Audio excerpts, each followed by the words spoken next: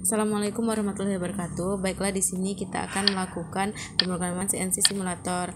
Pertama buat jobsit dulu, selanjutnya buka aplikasi CNC simulator, masukkan e, nilai 140 dan 35. Baiklah, selanjutnya kita atur pahatnya. Pilih pahat 0,26.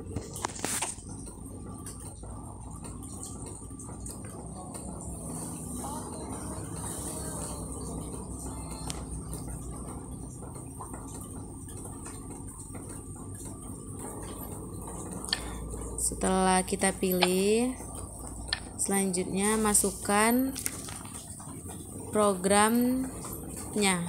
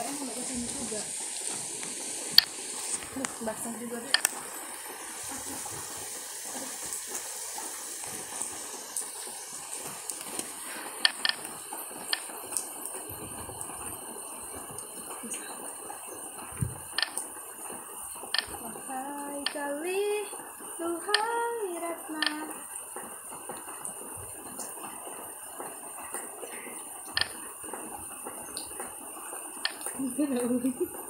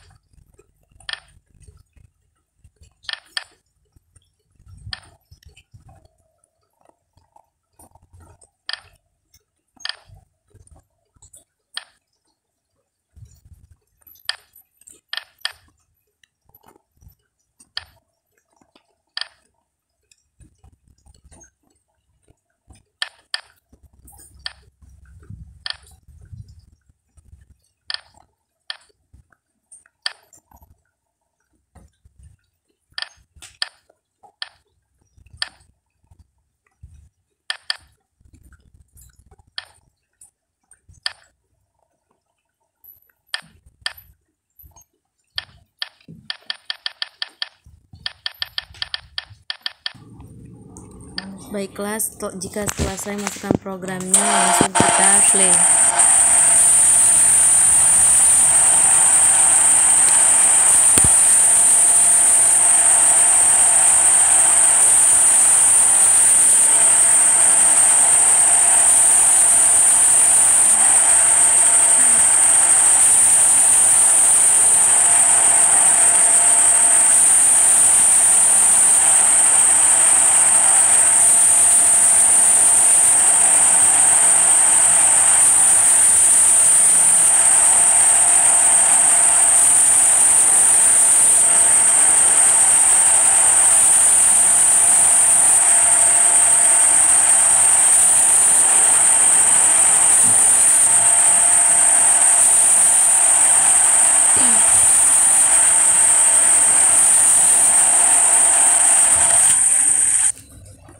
Jika sudah selesai, eh, kita bisa melihat hasilnya.